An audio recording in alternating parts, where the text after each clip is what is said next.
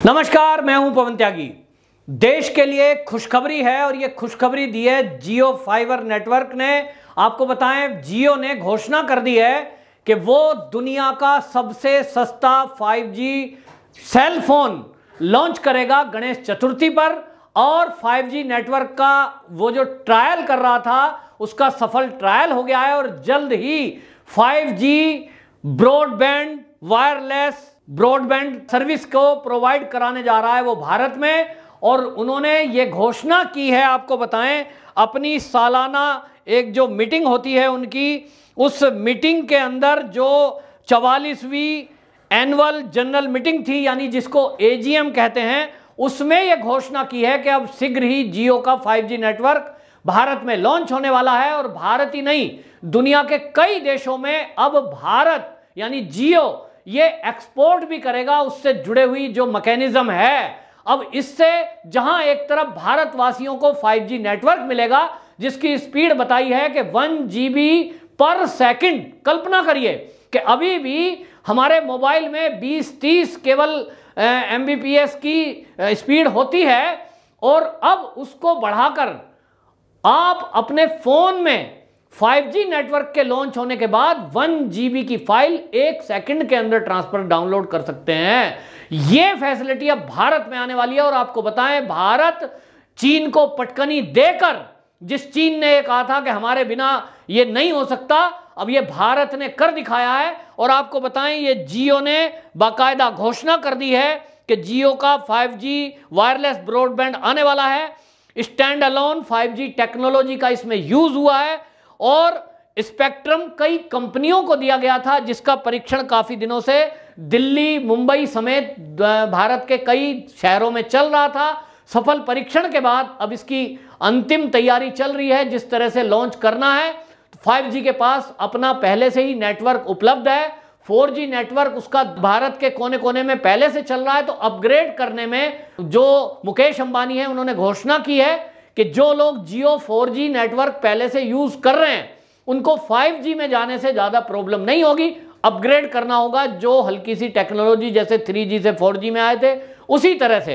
अब उन्होंने घोषणा की है कि आपको बताएँ, एक नेटवर्क को लेकर भी ये जियो काम कर रहा है, और वो है कॉन्टैक्ट लेंस एंबुलेंस। आपको बताएँ, इसमें sir H N Reliance Foundation के साथ मिलकर रिलायंस जियो एक विकसित कर रहा है ऐसी एंबुलेंस को जिसमें कोई व्यक्ति उसको संचालित नहीं करेगा, वो नेटवर्क से संचालित होगी, यानी 5G नेटवर्क से वो जुड़ी हुई रहेगी। और जिस तरह से रोबोट चलते हुए आपने देखे होंगे, जिस तरह से आपने मेट्रो चलती देखी है कि ड्राइवर नहीं है और वो मेट्रो संचालित की जा रही है, इसी तरह 5G नेटवर्क से एंबुलेंस की सुविधा शुरुआत में भारत के कुछ शहरों में, जैसे कि दिल्ली और आपका मुंबई इन शहरों में और उसके बाद भारत के बड़े बड़े शहरों में ये कॉन्टैक्ट लेंस एंबुलेंस की भी शुरुआत जियो के द्वारा होने वाली है, जो भारत के लिए एक सबसे अच्छी बात यह है कि भारत का नाम अब दुनिया में होगा, कि दुनिया के उन देशों में शुमार होगा जहाँ 5G नेटवर्क है। दूसरी तरफ़ आपको बताएँ, चीन को यह अरबों रुपए की चपत है, क्योंकि चीन ये सोच रहा था कि 5G नेटवर्क लेना भारत की मजबूरी होगा। चीन में बैठा हुआ भारत के अंदर अपने इक्विपमेंट लगाकर कहीं ना कहीं जासूसी करने का काम भी करता है, जैसा उस पर आरोप भी लगते रहे हैं। और अब भारत का अपना नेटवर्क होगा, इसमें आपको बताएँ, वो जो है, जो जियो ने ये लॉन्च किया है, इसमें उन्होंने कहा कि इसके बाद जो बदलाव आने वाला है इस नेटवर्क से, वो हेल्थ केयर शिक्षा, मनोरंजन रिटेल और फाइनेंशियल मुद्दों से जुड़ा हुआ इसमें एप्लीकेशनों को बाकायदा वो विकसित कर रहा है, जिससे कि सारे क्षेत्र में उस 5G का लाभ इन लोगों को मिल सके। अब आप देखिए जिस तरह से हम आज कोविड का टाइम चल रहा है, पिछले दो साल से हम ये देख रहे हैं कि चाहे वो बच्चों की पढ़ाई हो, चाहे वो ऑफ़िस का काम हो, और सारे चीज़ आज वर्चुअल चल रही है। मीटिंग चल रही है ऑफ़िस का काम चल रहा है वर्क टू होम चल रहा है। इसमें डाटा का जो यूज़ हो रहा है, सबसे ज़्यादा प्रॉब्लम हो रही है नेटवर्क की। कि आप देखिए नेटवर्क डिस्टर्ब होता है। फाइबर केबल लगी हुई है, गली मोहल्ले में तार जा रहा है। बच्चे अक्सर शिकायत करते हैं कि हम पढ़ रहे थे, अभी कोई फ़ाइल डाउनलोड करनी थी, अचानक से स्पीड कम हो गई। कोई मोहल्ले में तार टूट गया, आंधी आने की वजह से और इसकी वजह से नेटवर्क नहीं आ रहा है। नेटवर्क की प्रॉब्लम की वजह से भारत को जो तरक्की करनी चाहिए, वो नहीं कर पा रहा और बच्चों को इस कोविड टाइम में सबसे ज़्यादा दिक्कत हुई। लेकिन अब आप देखिए, यदि वायरलेस ब्रॉडबैंड सिस्टम आ गया, यानी आपके घर में एक फ़ोन रखा हुआ है लैंडलाइन की तरह, और उसको आप वायरलेस है, कहीं कोई तार नहीं है और उसमें 5G नेटवर्क आ रहा है, अब वो आपके घर में वाईफाई की तरह भी बाकी इक्विपमेंट से कनेक्ट होगा। आपका चाहे वो टेलीविज़न है, चाहे आपके मोबाइल फ़ोन है, और 5G नेटवर्क का मतलब आप समझ लीजिए कि एक जीबी पर सेकंड क्या स्पीड होती है। वाह, सोचने से ही लगता है भाई कैसी स्पीड होने वाली है।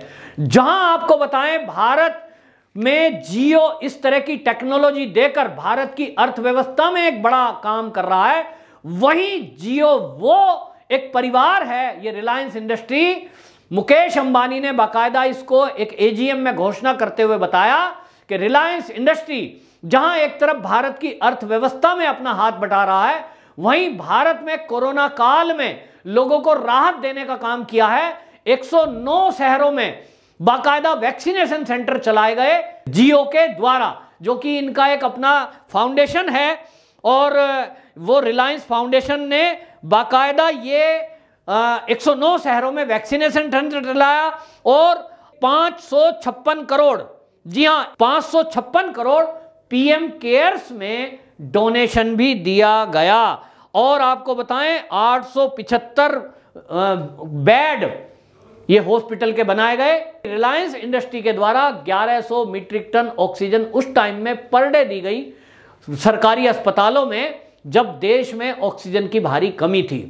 अब सवाल यह उठता है कि इतना सब ये रिलायंस इंडस्ट्रीज़ देश के लिए कर रही है, भारत की अर्थव्यवस्था को सुधारने में, भारत के लोगों की सेवा में। लेकिन कांग्रेस, राहुल गांधी बार बार इस मुकेश अंबानी और अडानी को गाली क्यों देते हैं? सवाल यह उठता है बार बार आप देखेंगे, इनके मुँह पर केवल एक ही नाम है राहुल गांधी के। हर मीटिंग में, चुनावी सभा में वो बोलते हैं कि ये जो अंबानी, अडानी है, ये तो मोदी जी के आदमी हैं। सारी कंपनी इन्हीं को फ़ायदा पहुँचा रही है। तो आखिरकार उनका जो ये एक, खीज है राहुल गांधी की, ये समझ में आ रही है, क्योंकि उनकी मित्रता, उनका एक समझौता 2008 में चीन के साथ हुआ, और उन्होंने चीन से वादा किया उस समझौते के तहत कि हम आपकी मदद करेंगे। लेकिन राहुल गांधी और सोनिया गांधी की प्रॉब्लम अब यह है, मोदी सरकार आने के बाद से मोदी सरकार ने अपने पैरों पर खुद खड़े होने के लिए जिस तरह से इंडस्ट्रियों को आगे बढ़ाया, स्वदेशी का नारा दिया लोकल फॉर वोकल का नारा दिया,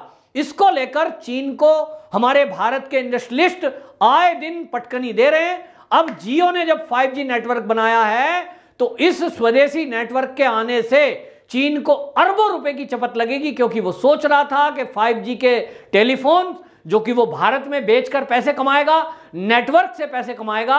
अब आपको बताएँ, ये जिस तरह से पाँच रुपए में इस, जो रिलायंस इंडस्ट्री है, इसने लोगों को मोबाइल फ़ोन शुरू में बांटे थे। लोग कल्पना नहीं कर सकते थे कि पाँच सौ रुपए में भी कोई मोबाइल आ सकता है।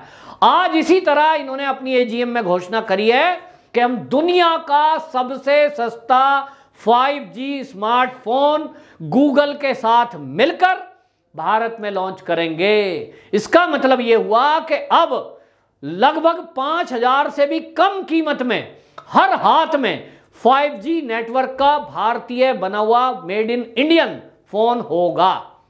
यह जो होने जा रहा है, इससे जहाँ एक तरफ़ भारत के उद्योगपतियों को काम मिलेगा, क्योंकि भारत में कई कंपनियाँ जो इस समय, जो टेलीकॉम सेक्टर में काम कर रही हैं, उनको भी ये भारत का जब नेटवर्क होगा, अपना नेटवर्क होगा तो उनको भी इससे कमाई का साधन मिलेगा और भारत की कंपनी का बना हुआ, यानी जियो रिलायंस का बना हुआ 5G मोबाइल फ़ोन होगा तो उससे बहुत सारे लोगों को काम मिलने वाला है, रोज़गार मिलने वाला है। जिस तरह से उसका मेंटेनेंस है मैकेनिक है सेल परचेज का काम है तो रिलायंस के ज़रिए ये भारत में बहुत सारे नौकरियों के अवसर भी उपलब्ध होने वाले हैं।